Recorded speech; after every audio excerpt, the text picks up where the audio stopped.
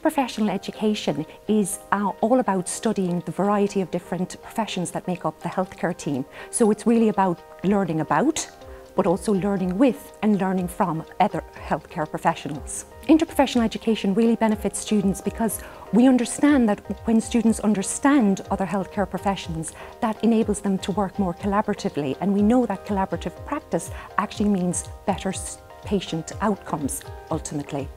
Um, it also helps the student understand where they fit within the multidisciplinary team that they will be working in when they are in practice. At UCLan, we get many interprofessional education classes. So in medicine, doctors are not the only roles in place. There are other roles as well. For example, nurses, healthcare assistants, paramedics. So through these IPE classes, we get to interact with them, know what the job entails, and we get to know what their role is in the entire system. So when we move on to our placements, we have a better idea where everyone fits in. Here at UCLan they like to do interprofessional education with um, all different healthcare professionals so we've done with the physiotherapists, with the nurses and they've got some qualified coming in to teach us and they've also had us with the students so we build that rapport so when we go out onto placements it's easier and we kind of understand their roles so it's really good to be able to build that rapport with the other students.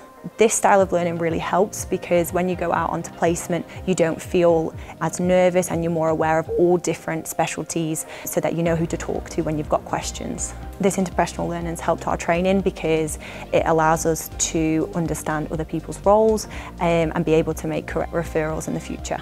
Interprofessional education can often be difficult technically to deliver. Uh, one of the things we do at UCLan is to take a very innovative approach to ensuring that we can deliver some of these sessions. So for example, we've done some large-scale online events that include over 600 students and 10 different professions.